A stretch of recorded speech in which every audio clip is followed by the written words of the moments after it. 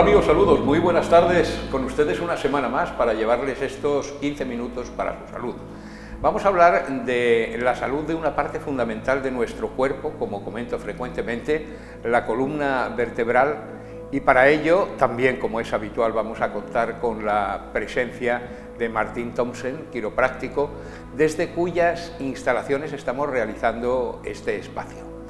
Hoy vamos a hablar, doctor Thompson, buenas tardes. Buenas tardes. De el, dolor de espalda en los niños, que por cierto es incluso más frecuente de lo que normalmente pensamos que es. Sí, mucha gente piensa que los problemas de espalda son cosas de mayores. Claro. Pero estaba viendo que no, realmente muchos niños eh, tienen problemas de espalda. Año pasado salió un estudio eh, hecho en Dinamarca, pionero, donde se pusieron a averiguar realmente cuántos niños tienen problemas de espalda. O sea, allí cogieron 1.327 niños y durante tres años eh, los seguían. Cada semana mandaban mensajes a su padre para ver eh, si había tenido problemas. Y averiguaron que 25% eh, de los niños tenían problemas serios de la columna. Estamos hablando de una cuarta parte. Una cuarta parte, sí. De niños además entre los 8 y los 12 años, es decir, que todavía no habían ni mucho menos desarrollado su columna vertebral. Correcto. Cuando decían serio, quería decir que había tenido eh, al menos un crisis de más de un mes eh, al año o había tenido varias crisis de más de tres crisis durante este año. Claro, esto implica automáticamente, después de lo que me acaba de comentar, que esos niños, caso de no ser tratados, van a ser adultos con absolutamente seguro problemas de espalda de mayor. Sí. Porque claro, eh, es... Es así, sí. Si ya de niño tiene problema, cuando ya sea mayor, mucho más problema. Claro, claro, Porque claro. problemas de espalda, si no se trata, normalmente va para más y más y más. Y, en los niños, ¿cuáles son los principales eh, factores de riesgo, es decir, problemas que a su vez mm, dan como consecuencia el que aparezcan estas dolencias? Pues se han estudiado mucho para ver cuáles son los factores de riesgo.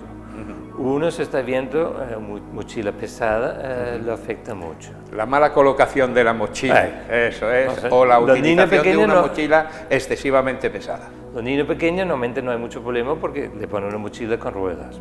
Ya cuando sean, tiene ya 12 años, adolescencia, ya no los quiere. Muy cargado, todo cargado sobre un hombro y ya eh, causa problemas de espalda. Claro. Otro factor de riesgo que se está viendo es el sedentarismo, que antes los niños hacían mucho deporte, se movían, eh, y hoy en día con las o el teléfono, de los juegos, computador o televisión, y ya mucho menos deporte que, que, antes. La falta de ejercicio. Falta de ejercicio es uno de, los grandes factores. Estamos viendo que eh, la manera de compensarlo absolutamente mm, está clara, es decir, el niño que se mueva es fundamental, que sepa usar eh, los pesos cuando va a la escuela, es fundamental también. Estamos hablando de unas edades, entre los 8, 12 años, etcétera, donde el niño ya dice que de ruedecitas nada, que él es un fuertote y que quiere, que quiere hacerlo así. Esos mm, problemas, eh, generalmente, ¿dónde se localizan en el niño y cómo se manifiestan? quería adicionar antes también un factor de riesgo grande es la postura. Ah, bueno, claro, claro. La postura, que muchos niños, las niñas, tienen vergüenza de porque está empezando a crecer eh, el pecho, por ejemplo. Entonces ya coge una mala postura para intentar esconderlo. Eh, y esto lo afecta. También muchas veces va con la cabeza para adelante. La cabeza pesa como una bola de bolero. Entonces es como tener la bola aquí enfrente. Claro, claro, claro. Carga muchos los músculos y ya termina eh, con problemas de, de espalda. ¿Cuáles son los problemas que vemos más? Bueno, lo más común, dolor de cuello, dolor dorsal, eh, dolor lumbar. Incluso problemas que la gente piensa que son de adultos, los uh de disco, los vemos en niños. En niños ya se ven. En niños ya se ven la hernia de disco, que no, es exclusivo de, de, persona mayor. Hay. Em, otro problema que vemos con frecuencia tortícolis en niños, eso que se levanta una mañana, ¡boom!, está cogido. Muy doloroso, que, no, que, lo ha probado. Sí, sí, sí.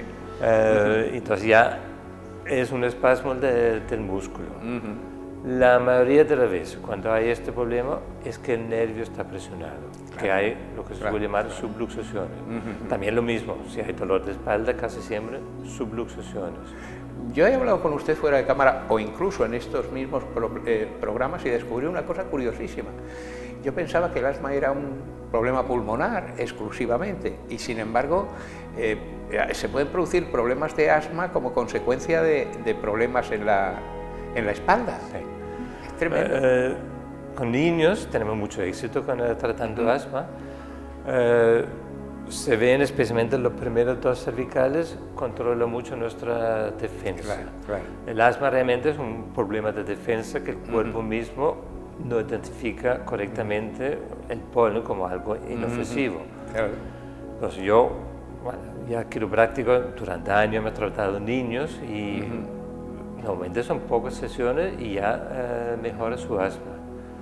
Yo recuerdo un caso que tuvo en Estepona, caso espectacular, pero eso fue no con niños, fue eh, con una mujer adulta, 50 años. Venía en la clínica porque tenía asma. pero asma en el sentido de que llegaba a que, faltaba oxígeno y tenía que ser ingresado en el hospital. Estaba en el hospital como mínimo dos o tres veces al mes. Caramba. no sentía dolor de cuello, ni nada. Y yo pensé, bueno, si funcionó con los niños, ¿por qué no va a funcionar con, los adultos? Empezamos a tratarla y de verdad fue espectacular. En cuestión de un mes dejó de tener eh, los ataques de asma, ya no fue más al hospital.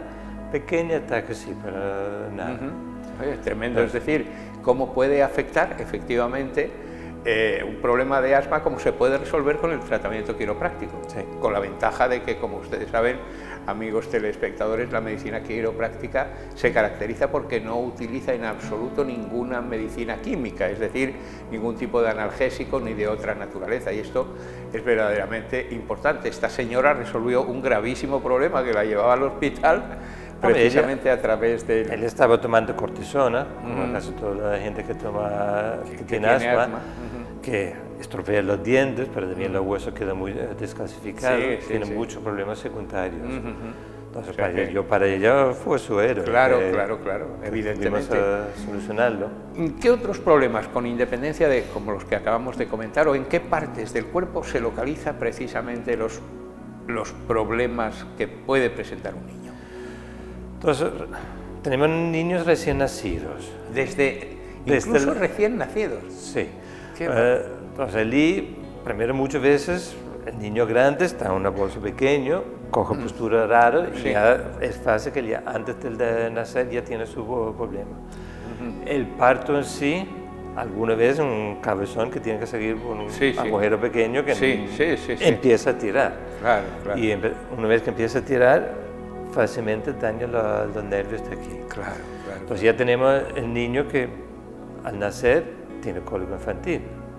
Definimos esto como llora y llora y llora. Claro, claro, Se pone una postura que parece que, que tiene dolores uh, abdominales, por eso dice que es un cólico. Y a los niños, la padre normalmente es desesperado. Claro, claro, claro. Porque están pensando que lo que tiene el niño es un cólico, pero no reacciona nada no de esto reacciona nada y, no mejora. Y hubo varios estudios en Dinamarca, con, justamente con cólico infantil, que enseñaba que con tres sesiones la mayoría de, los niños disminuía la hora de llantos eh, con unos tres horas. Es decir, que la mejoría era, bastante solamente con tres, con, tres, sesiones, ya se notaba esta mejoría. Lo comparaba con eh, tratamientos médicos uh de allí, donde solo conseguía un alivio de una hora y media. Estamos hablando de algo verdaderamente extraordinario, como, como podemos ver. Y además eh, yo estoy descubriendo cómo efectivamente las afecciones que normalmente pensamos que son debidas a una degeneración por el paso del tiempo, por malas posturas.